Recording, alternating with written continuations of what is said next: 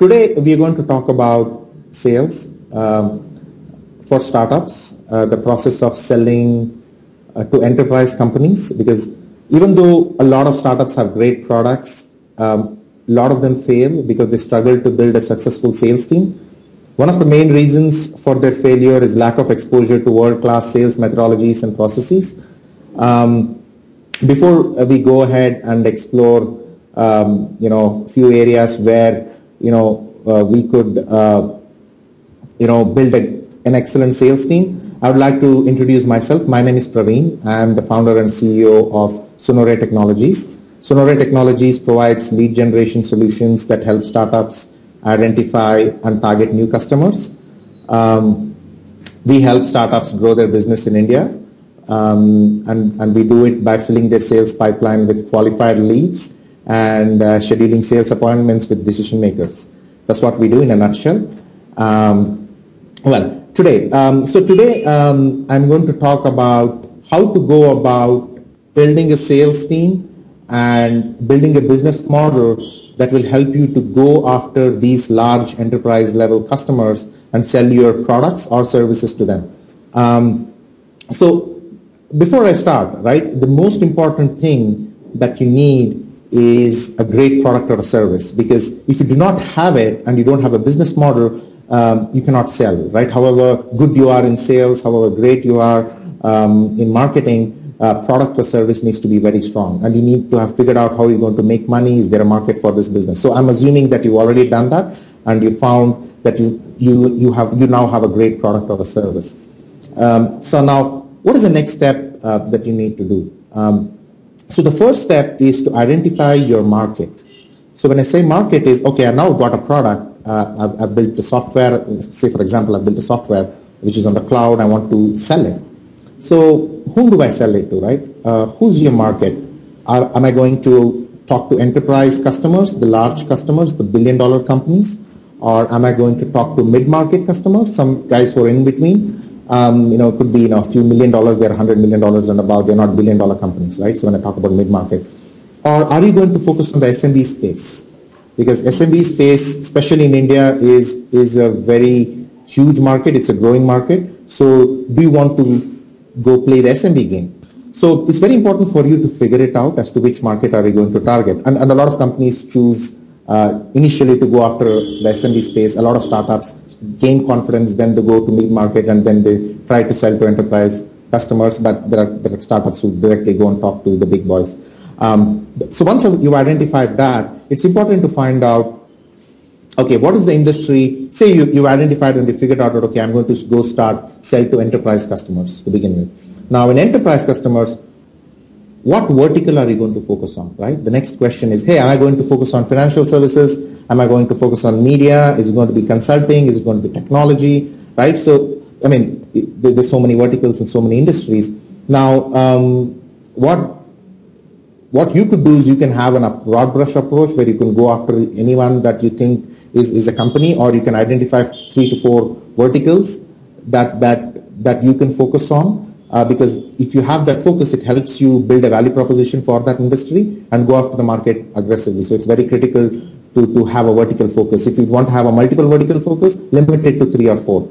Say you, you identified three or four verticals that you want to go after. The next step is to obviously build a company list because what happens is startups um, generally what they do is they read the economic times in the morning, they see a company and they just go after it, right? So that's not, that's one good way, that's being very opportunistic.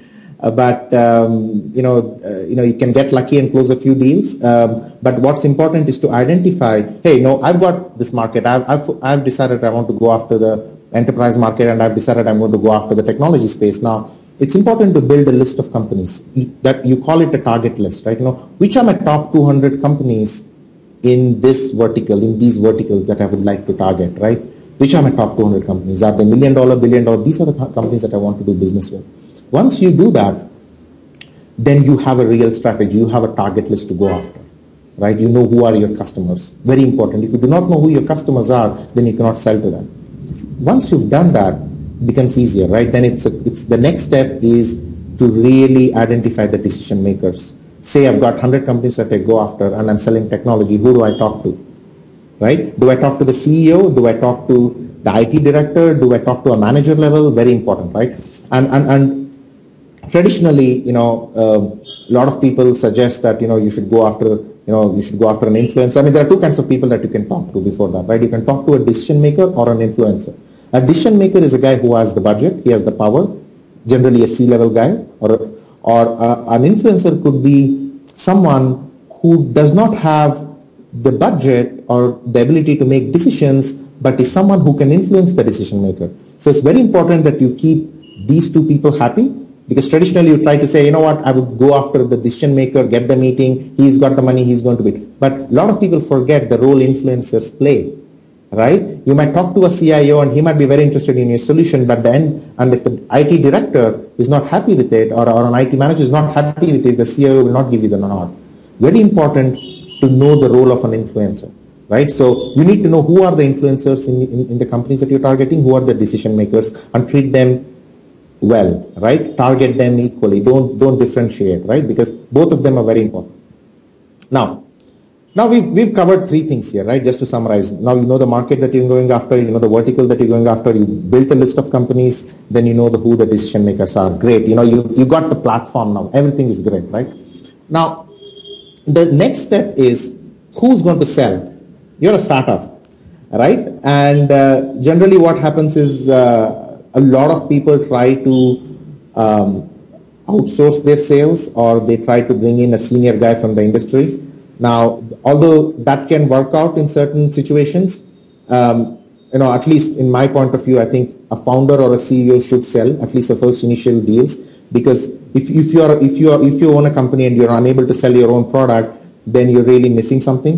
So at least for the first few deals, you know, however difficult it would be, whether you're a sales guy or not, push yourself to go attend those meetings because it'll help you in two ways, right? The first way it'll help you to understand how good your product is and how well it is received in the market. And, and secondly, most importantly, you're, you're building relationships with these decision makers. And you as a CEO are in front of customers makes a statement to these guys, right? Instead of having someone, you know, whom you hire or outsource doing it for you. So my suggestion is, you know, as, as a startup, try to close the first few deals yourself.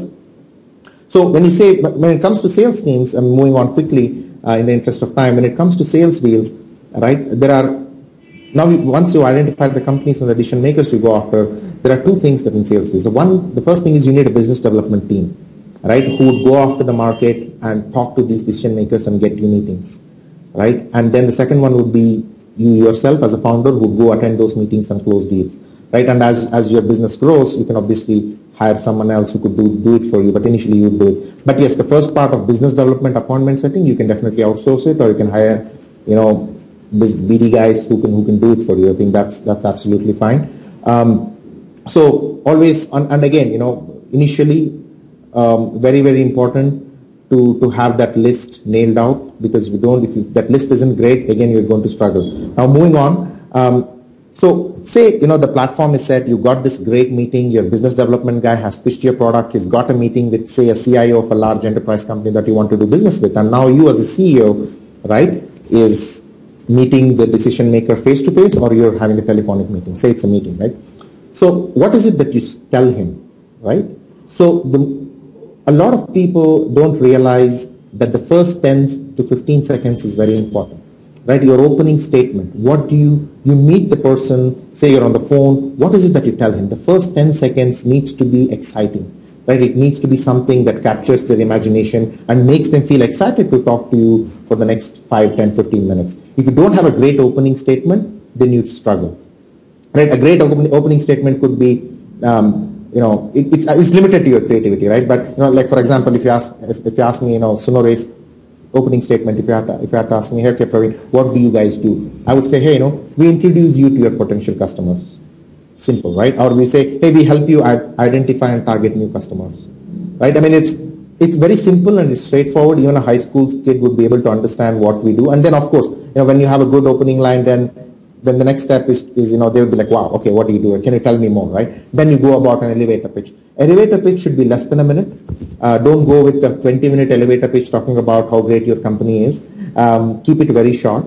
The first minute is important. So an opening statement is 10 to 15 seconds. Elevator pitch is probably less than a minute, right? So, you know, say 45, 50 seconds, wherein you briefly talk about what is an elevator pitch, right? I mean, I mean, you, you can go Google it and find lots of information about an elevator pitch. But my definition is, you know, talk about how you're different, how what is it that you do differently, what is the value that your customer is going to gain out of you, right? And instantly establish credibility. Because talk about your existing customers. You know, hey, we work with XXX. We help companies like XYZ do these, these things. And talk about the, your big clients if you have. But if you do not have, talk about something cool that you do which is very different and can help and can solve a business problem or a business pain, right? And keep it simple. Or, or, it could be a simple introduction of what you do and what your business model is. Keep it straightforward, right? That's very important. Once you've done that and keep it less than a minute. As a rule, keep it less than a minute. Once you've done that, the next 10 to 15 minutes you don't talk, right?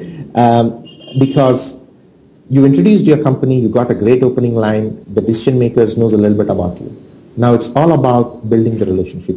The next 15 minutes is only question, right? It's about asking intelligent questions, building the relationship. You need to do three things there. The first thing that you need to do is try and break the ice, right? Don't be like a robot. A lot of people are like a robot trying to be very formal, trying to use jargons, like, you know, we help you create sustainable competitive advantage, ecosystem and things like that, right? I mean, it, it's very, very boring, right? I think importantly, it's very important to be human and, and break the ice. Talk about your background, try to understand the guy's background, what he's done, how he started up, what, what kind of business he does. But try to be try to do that. Once you've done that, you've broken the ice, then the other person is more open to listen to you, right? And you ask questions like, you know, hey, how do you, um, how do you do this? You know, imagine you're selling the technology, you're selling CRM, then you ask them, hey, you know, how do you, what do you use CRM today, right? Or, or how do you implement your Salesforce? So you know, ask questions like that. Very important to do that. Once you've done that, um, then yes, you, you break a broken the ice, then you try to find out their business need. Um, so, you know, even before I proceed, uh, there is this traditional wisdom which tells about in every meeting there needs to be four things, which is identify business pain, identify the decision maker, identify time frame, and identify budget. Now, I would think that although that works great in most circumstances, I think the world is changing now. In the new age, I would probably want to, um, you know, make some corrections to that. Like, for example, the first wisdom says identify decision makers. I would say identify decision makers and influencers. Know who are the guys involved in the business, in their buying process, right? Don't be, don't just think the guy you're talking to, a C-level guy is a decision maker. Find out, hey, who else would be involved in the decision making? Would it, would your IT manager be involved? Would your, would your director be involved? Can we get on a call? Can we talk to him? Very important to get the buy-in from everyone. So change identify decision maker from identify decision maker and influencer, right? Make, make those changes. That's the new age. Then the second thing is, you know, identify budget. I would never do that because, uh, you know, you're talking to an enterprise company and you're talking to a guy who's a C-level exec. If he didn't have budget, he wouldn't be talking to you. And, and it, it, it basically is, is, is, you know, it kind of shows that you're very desperate and you're asking that question too early in the sales cycle. Don't ever do that. I think budget, whether they have a budget or not needs to be uncovered during during the sales cycle. It will naturally come out when you're engaged in a sales cycle. There is no need to explicitly ask, hey, do you have a budget? Don't do that right? Let it evolve, let it naturally come about. You know, they'll come during the point of your conversation and the sales cycle, there will come a time when you can ask that question or they will tell you whether they have a budget or not. So don't make it very obvious. So I would say refrain from it as much as possible. Don't ask them, right? So the second thing is, I mean, again, it's traditional wisdom is to ask it. I would say, you know, it will come out, right? The third thing is they talk about time frames, right? Uh, identify when they would be most likely to implement the product. Now, again, the challenge is, I would say, ask it, but be very choosy about it, right? Because sometimes, you know, you, are on the first meeting, you, they don't even know what you offer, and you're asking them, hey, you know what, will you sign the deal in the next three months? I mean, that's, you know, you again show that you're very desperate and uh, robotic, so don't ever do that. I would say initially as a startup, refrain from that question as well, although, you know, all your uh, MBA grads and, and your VCs and angels might push you to do that. I would say refrain from it um, you know, don't ask questions like, you know, do you, do you have a time frame? Will you sign the deal in three months, six months? Don't do that. Again, that will come naturally as you, as you, there might be certain situations where, you know, where if the situation permits and it leads to a situation where you need to ask it, ask it, but don't go with the plan of asking it uh, initially, let it evolve. The third thing is they talk about business pains. Uh, don't ever ask that because if you have to go to a decision maker and ask him what is your business pain, then you would really, really upset him. uh, I would, I would, I would, I would probably say you need to identify it yourself by asking in questions in terms of how do you implement this, how do you manage it. By doing this, you know, use things like compelling business need instead of business pain, right? Hey, your if I understand your business need is this, if I understand if someone could help you solve this problem, it will help you. Don't use the word pain, right? I mean, it's it, it, it's, it's you know a lot of, I, have seen companies i've seen ceos go and say you know first first thing on the call they ask them hey can you tell me what your pains are i mean how ridiculous that is and how funny that is. So don't do that, right? So, uh, so again, you know, um, be, be, be, try to be, as it were, try to be normal and human, right? I think that that's where, uh, you know, you'll have a great sales cycle. I think, again, you know, just to summarize, you know, the, the business, try to find out the decision makers and influencers, try to identify what their business needs are, compelling business needs are, stay away from the time frames, try to find it out indirectly, whether they have a budget or not or a time frame or not, try to find it indirectly. Don't ask it directly, at least on the first call. Once you've done that, it's very important to engage in a sales cycle, right? And a lot of people, you have to be very aggressive, right? Identify next steps. Don't hang up the call or don't get out of the meeting without getting some kind of commitment from the decision maker that you're talking to, without identifying a next step. Because a lot of entrepreneurs go, they have a good jolly time, talk to them, say hi, how are you, and they come back. There is no next action item you need to have a next action item. Ask them, hey, you know, what is the next step? Right? You can ask them. Right? You don't need to suggest, hey, what do you think would be the next step? And they will tell you. They will tell you, hey, why don't you send me your company profile? Or why don't you uh, come and meet my IT director? Why don't you send me, do a demo for me, right? There could be anything, right? You know, people, they will suggest your next step, right? Or, or sometimes if they're not interested, they will tell you, hey, you know what, it was great meeting you. We do not have a need now. Why don't you call me in three months, right? So, you know, always try to find out what the next step is. Don't get out of that phone call or the meeting without getting um, a commitment from, from your customer as to what the next step is, right? Once you've done that, then you follow up, right? Sales is all about persistence. Um, you know, uh, a lot of people give up uh, when the customer says no. Um, trust me, you know, it's, sales is not about getting yeses, it's about converting no's to yeses. A great sales guy is someone who, who has the ability to convert the no's to ASS, right? And it's also not about identifying a business need, right? I mean, if the guy had a compelling business need which is uncontrollable, he would go buy, you know, he would he would go buy, he would have bought the service. You know, he wouldn't be waiting someone for someone to come to his, his office and sell it to him, right? He would have purchased it long time back. So sometimes it's about creating a need as well. It's not just about identifying a need. There might be situations where, you know, people don't know what your product is. It could be something innovative. It could be something that doesn't exist in the market. They might not have, because they don't know what it is, they don't have a need. So when you tell them, you're creating that need. Right? It's also important to create that need. And, and, and again, human behavior, you know, people don't buy logically. Research has proved that, you know, they buy emotionally. So if you can create much excitement about your product, people will buy it. It's about creating that excitement, showing the energy, believing in your product. Those things are very important.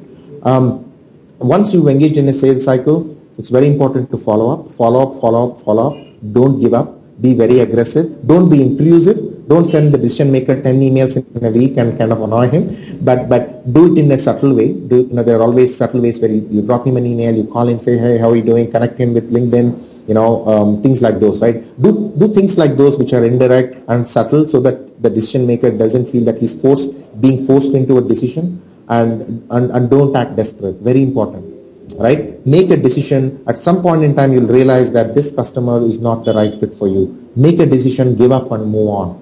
Right? Because you know you'll be wasting a lot of time on unqualified opportunities. Not every person that you talk to is going to give you business, right? Very important to know that, right? It's about giving in enough effort from your side and seeing if it works. If it doesn't work, move on to the next one. And it's the judgment of when to let go very important. Um, once you've done all those things, say a customer says, you engage in a sales cycle, you send the proposal, you negotiate, you close the deal, great, you're winning, then you're scaling and as you got your first deal, you, you obviously the confidence will rub off on you and you'll be able to generate more deals, close more deals, build more relationships. But what also happens is, what about the customer that said no to you, right? You need to have a mechanism to stay in touch, stay engaged, right? Put them on your email list, send them an email every month, once in a month, you know, talk about I mean, don't send them any email which is, you know, just a email which is a plain email talking about features. Right? Talk about benefits. Talk about invite them for a webinar. You know, send them send them something. Send them an invite for lunch. Do do things which are very creative and interesting that might again capture their imagination. Don't be you know don't be just pushing them brochures which is again uh, could be could, could not help you. And again, when talking about brochures, uh, one last thing, a lot of uh, companies that I've seen use brochures which are 20 pages long with with, with, with the 4 MB, 10 MB sizes. It'll clog the inbox of your decision makers because most of the decision makers today are mobile. They're on their iPhone or on, on their BlackBerry, right? And they don't have time. So brochures should not be more than three pages as a rule. The first page talks about your company and your product. The second page talks about the benefits, not features and advantages. Benefits, because people like benefits, they don't like features and advantages, talks about how it can help them. Um, the third page talks about your customers Those they want to know, put a case study, talk about how you help the next customer, right? Talk about case studies and, and, and your customers. Three page, less than a meg, uh, not more than a meg because it's 3 MB, 4 MB. I've seen, you know, brochures which are 20 MB um, size, which is which is just not going to help you, right? Keep it short and sweet. Even your emails should shouldn't be very long, right? It should be you know, four five lines, hits the point, nails it, um, and that that's the way to go. So I know I hope uh, this um, small uh, this is just my you know um, opinions and my learnings. Uh, these things have helped us tremendously scale our business. Uh, but I hope this uh, small session helps you. Uh, again, there is no right way or wrong way to do sales. Because if, if sales was science and if you could do X, Y, Z things and if you could get customers, we would all be billionaires. Um, there is always a creative aspect to sales. Um, you know, you always figure your own way out. You always make your own rules and you figure out your business model. It's about trying new things and experimenting and then you fail and you learn new things. Uh, don't go by what others say or what traditional wisdom says. Be open to experimenting and trying new things. Um, uh, that, that, that is something that will help you increase sales. And, and, and one last thing, building teams. Um, once you're at a stage where you're scaling, you've got enough customers and you, you want to hire people, hire people with a lot of energy and a lot of passion.